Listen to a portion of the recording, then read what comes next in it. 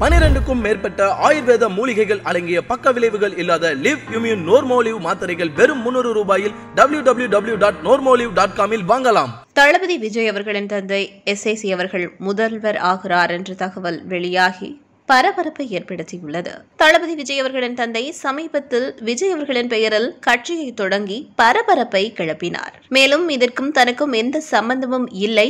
தனது பெயர் மற்றும் புகைப்படங்களை பயன்படுத்தினால் அவர் மீது நடவடிக்கை எடுக்கப்படும் என விஜய் அவர்கள் அறிக்கையும் வெளியிட்டிருந்தார். இந்நிலையில் எஸ்ஏசி அவர்கள் தற்போது படங்களில் நடித்து வருகிறார். தற்போது சிம்பு அவர்கள் நடிப்பில் மாநாடு படம் தயாராகி வருகிறது.